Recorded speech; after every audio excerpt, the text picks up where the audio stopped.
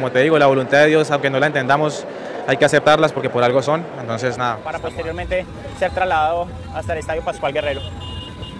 Son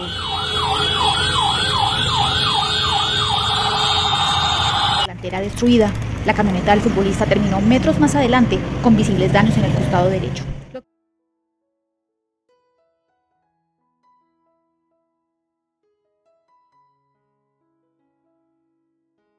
Salen caminando por sus propios medios.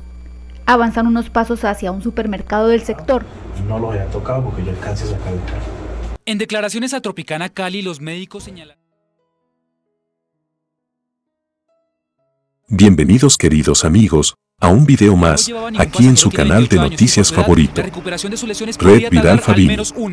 Hijo de Freddy Rincón se pronuncia sobre el accidente que dejó sin vida a su padre. Pero antes de continuar con este video, quiero invitarte a que te suscribas a este canal, actives la campanita de notificaciones y a que me apoyes con un gran like. Sebastián Rincón se dirigió a la persona que habría ido conduciendo el vehículo al momento del accidente en Cali para solicitarle que se presente.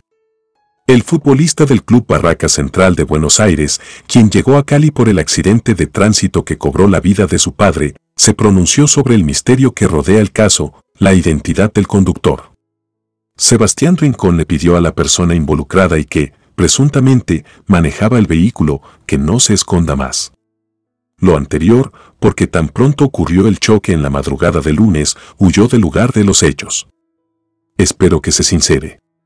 Esperemos que Dios haga justicia y que la fiscalía haga su trabajo. Lo único que puedo decir es que mi papá no iba manejando. Eso me deja muy tranquilo, porque ante las falsas acusaciones la verdad saldrá a la luz, declaró el hijo de Freddy Rincón a medios de comunicación. Sebastián visitó las oficinas de medicina legal, donde permanecía el cuerpo de Freddy. En medio de periodistas y aficionados, dejó unas sentidas palabras por el fallecimiento de su ídolo.